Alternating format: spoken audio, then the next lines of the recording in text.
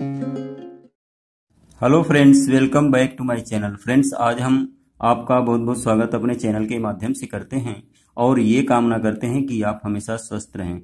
Friends, आज की remedy बहुत ही खास और इफ़ेक्टिव है। इस रेमेडी के माध्यम से हम आपको बताएँगे कि आप अपने चेहरे से पिंपल को कैसे समाप्त कर सकते हैं, दाग तथा जो झाइयों के निशान हैं उनको कैसे आप समाप्त कर सकते हैं। फ्रेंड्स, इस रेमेडी का प्रयोग करके आप अपने चेहरे को चमकदार और गोरा बना सकते हैं।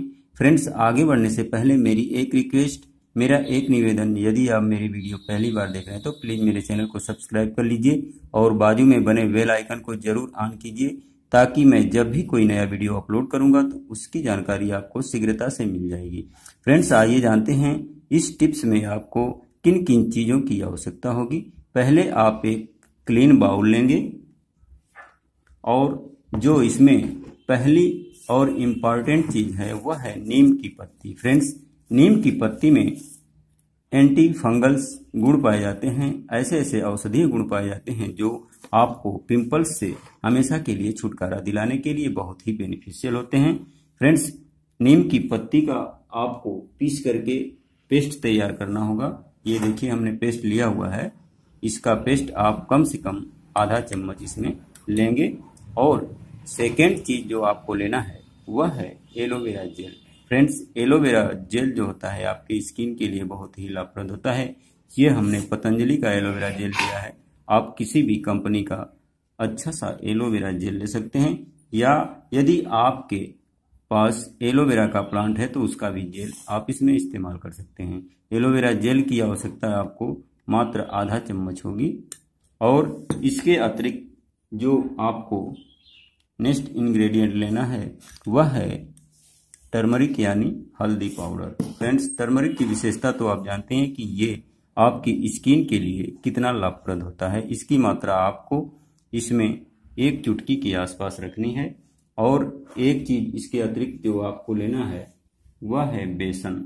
फ्रेंड्स बेसन आपको चने का लेना होगा, क्योंकि चने के बेसन में ऐसे प्रॉपर्टीज़ पाए जाते हैं जो आपको चेहरे पर चमक लाने के लिए बहुत ही बेनिफिशियल होते हैं। अब इन सभी चीज़ों को आप रोज वाटर के माध्यम से मिक्स करेंगे। रोज वाटर से जो होता है, आपके स्किन का जो मैल और गंदगी है, वो बाहर आता है। आपका स्किन मुलायम होता है। रोज वाटर की आपको आवश्यकता इसमें मात्र एक चम्मच होगी। अब इन सभी चीज़ों को आप आपस में भली भांत मिक्स करेंगे। अब आप देख पा रहे हैं कि आपका नुस्खा आपकी रेमेडी बन करके बिल्कुल तैयार है। फ्रेंड्स आपको इसका प्रयोग कैसे करना है, आइए हम आपको बताते हैं। आप इसे फिंगर के माध्यम से लेंगे और अपने पूरे चेहरे पर इसे अप्लाई करेंगे। इस तरीके से मोटा लेयर लगा करके आप कम से कम इसे 20 मिनट के लिए ऐसे ही छोड़ देंगे। 20 मिनट के उपरांत इसे नॉर्मल वाटर से धो करके साफ़ कर लेंगे। फ्रेंड्स इसका प्रयोग आपको मात्र सप्ताह में दो बार करना होगा। अगर नियमित रूप से आप इसका प्रयोग करते हैं तो आपको मुहासों से, यानी पिंपल से छुटकारा मिलेगा, दाग, धब्बे तथा झाइयों से छुटकारा मिलेगा और आपका चेहरा चिकना, गोरा तथा चमकदार होगा।